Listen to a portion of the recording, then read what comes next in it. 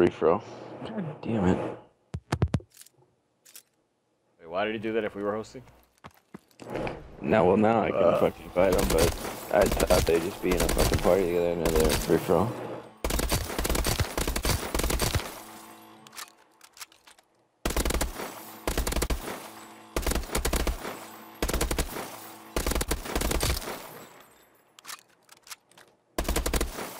Does look pretty legit though.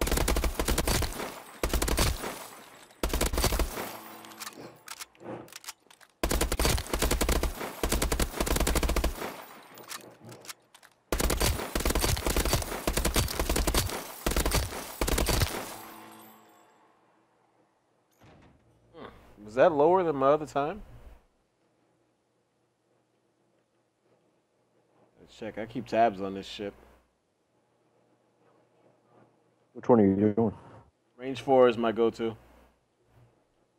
True. Shit, that is because range four suits my role the best. Like it's the it's the only it's the range that I get like targets that I actually see in real games.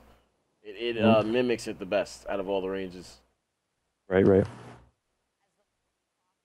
I used to average. I typically would average like uh, low seventies on percent accuracy Mhm. and low forties on time.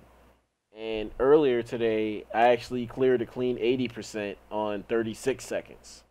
So that's like four or five seconds faster and like eight percent higher. And just now, I got eighty percent again on thirty five point nine seconds, which is a little bit faster than what I did earlier. hmm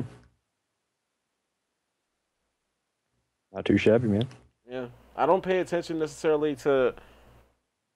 Like I was telling my boy why I do it, and it's not so much like the uh, accuracy so much that I pay attention to, but how like my target acquisition. That's what I pay more attention to, and like how fast I'm like seeing everything, and how long it takes for me to like get a dead on shot, hmm and then move on to the next target and repeat the process. It kind of gives me a gauge of like how I'm seeing things before I jump into a game. Right.